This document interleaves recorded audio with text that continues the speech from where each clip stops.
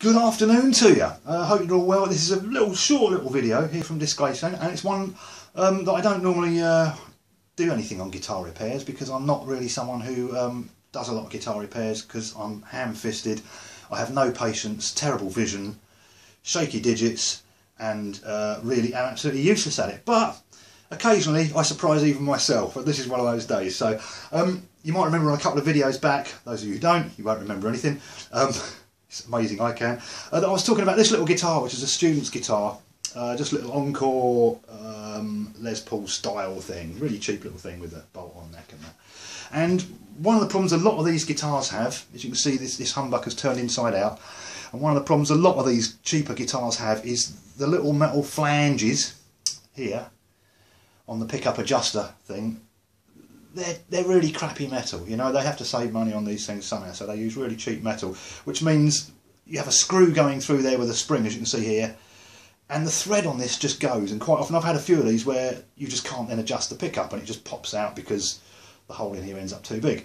All right, so I asked a bunch of you good people here on YouTube for some suggestions of the easiest and cheapest and most painless way to sort it out. I had some really nice uh, suggestions, so thank you very much to everybody who did uh, suggest stuff, and I've tried a couple of those out. Um, I tried out um, wrapping tape around the screw, and I did that, and as soon as the spring tension got too much, it just popped the tape off, and everything just went again like that. Didn't do the noise, that's me. Um, Randy Shiger suggested filling this the hole in the in, in the flange here with super glue or CA glue and I did that, let it overnight, let it settle overnight, put the screw in the next day and it just pinned it off again. I tried a whole bunch of things and nothing was working. So, um, and again, thanks to those, Pete, I know, um, suggested or even offered to, I would send the pickup to him and he'd actually sort it out and give me a new, put some new surrounds on it, which is really, really kind of him. But this is one of those really infuriating problems. I've had it on other guitars before and it's a nightmare. So I think I've come up with a way which is sort of reversible um, to fix it. And this is what I've done. So I'll just turn it around here. And again, this is oh. It's only a really cheap guitar.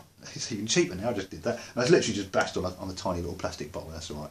Um, and I think it's going to be sold anyway. So what I've done, and I hope you can see this, it's not going to be the most clear thing, but I'll try and point it out. What I did first of all is I got the spring, all right, and I'll, I'll show you with another spring here, hang on.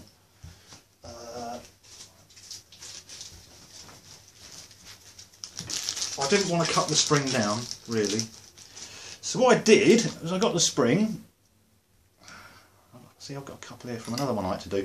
And I just basically compressed the spring, so there's it full height, and I just compressed it to about uh, where I thought it would be reasonable, and then got uh, some of this stuff, which is this gold sort of wire, which is actually, when I was drinking port last Christmas, it's the gold foily wire they put around the cork to make it look really flash, and I've been saving that for a special occasion, I found it. So what I've done is I compressed the spring, all right, and it's not the easiest thing in the world to do because these, you know, all they want to do is leap around and jump about. So I compressed the spring, and then I threaded a piece of this through either end of the spring, and just tightened it and tightened it until the spring was compressed. It makes the spring bend like a banana, but it doesn't matter because we're going to whop a screw through there and keep it straight. Okay, so that's that's the first thing. So you can see here, hopefully. Um, I don't even know if you'll be able to, and I apologise, it's pretty shitey, but I can't get much closer than that. Um, so the spring is compressed and then I basically run a piece of this through both ends of it, kept the spring compressed and then just really twisted it, tightened it up, loaded it with glue, twisted it a bit more, put some tape on it, some more glue, blah blah blah, and that will hold. If any time we want to uncompress the spring, we just get in there with a wire cut up ping, snip this, and away we go. So now that's taken a lot of the pressure. Um, so any you know, any grippage, is that a word? Grippage? Good word. Any any any grippage that the screw has in that thread isn't suddenly just going to be forced open by this ludicrous big spring. So that's what I did first of all.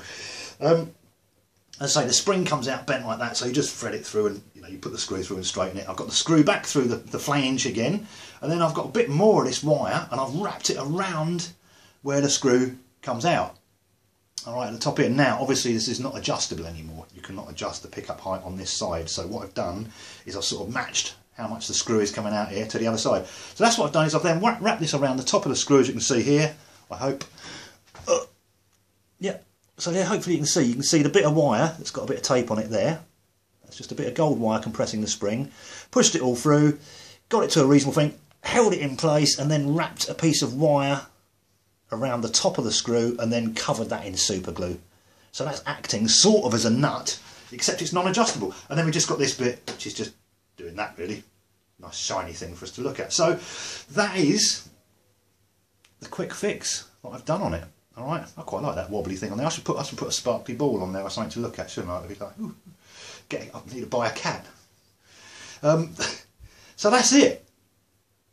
We will see how it holds up. I'm going to leave it to settle, and because, uh, like I say, again, I've covered all of the excess wire here in glue and all sorts of stuff because it's just it just needs to hold in one place.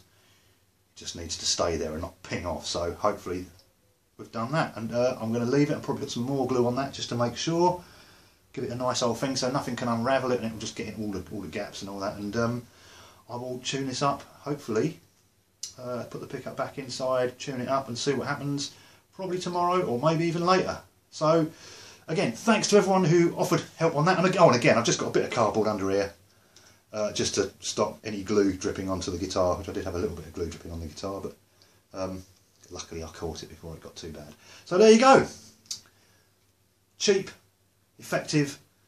Zero tools really needed, a couple of dobs of super glue and um, uh, a bottle of port really is the most expensive thing. I think it cost me about 10 quid uh, for a half price bottle of port. But uh, I mean other gold wire is available. I'm sure some expensive red wines also and some sherries also have gold wire. So anyway, there'll be another video coming uh, in a couple of hours probably because I'm going to do some guitar playing and some waffling and some beer drinking but I thought I'd do this one separately. Thanks for watching, I'll see you on the next one. Take care.